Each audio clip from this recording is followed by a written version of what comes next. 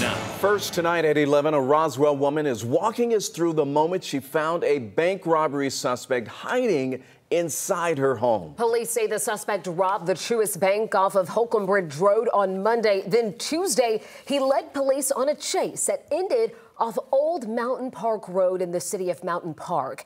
He ditched his car running from police, sparking an hours long manhunt. That is until he was discovered by a woman on the second floor of her home, just steps away from her bedroom. A bizarre situation here. 11 Alive's Cody Alcorn spoke with that woman. Tonight, he joins us live in Roswell. And Cody, this had to be absolutely terrifying for that woman. Ron and Jennifer, this story just wild. Gwen Ketchum was home alone on Wednesday, her husband out of town on a trip. And if stumbling upon a stranger inside your home in the middle of the night is not scary enough, this man was in her home for hours, and Ketchum had no idea.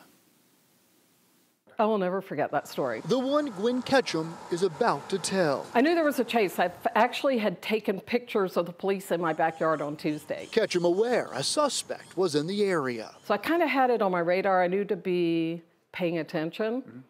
But I also felt like oh, he's probably moved on by now. She was a little distracted. I had a pretty bad day. Um, I'd had to say goodbye to one of my cats. Ketchum trying to keep her mind off of it, only leaving the house to run a quick errand. I came home and sat at the kitchen table and ate a little bit. She did a couple more things, finished up work, then off to bed. The cat that I said goodbye to had always slept next to me and none of my cats were there. A little restless. By now, it's after midnight. I heard, I thought, a knock on the door. She got up, didn't see anything. I thought, okay, you're just imagining it. But where are the cats? Before heading back to bed, it's my husband's office, and we always keep the door just partially open. Ketchum checked the room across the hall. I pushed on the door, and it stopped. And I was like, what's going on? Why won't, my why won't the door open? And I reached into the light switch and flipped on the switch, and saw knees down, legs, and boots laying on the floor. Did he move? No, he didn't move.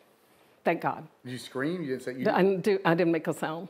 I just started shaking. She heads downstairs. And I see a man standing outside the store. Ketchum runs to the garage, jumps in her car, and calls 911. He said, Ma'am, the police are on your property.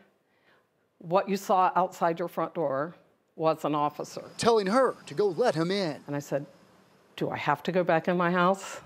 And he said, You'll be okay. There's officers all around your house.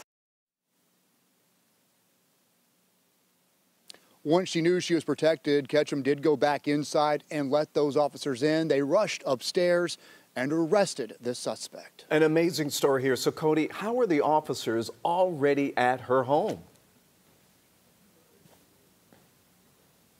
I told you the story is wild. Now, those officers were out there, and that was, in fact, a knock she heard. It was an officer knocking on her door. What she has since found out is that this suspect, while in that room, her husband's office, he got on their computer, used some type of app where he tried to order an Uber or an Lyft, and then he actually checked his Gmail account, his emails. And he left a digital footprint, which, through technology, allowed officers to track him down to her house. So they just happened to come across each other at the same time. She woke up, the police were downstairs, and luckily they got him before anyone was hurt. Man, that could have been wrong so many different ways. Could have went wrong so many different ways. A shout out to the Roswell Police Department. Great police work. Yeah. And we're glad that she is okay tonight. Cody, thank you.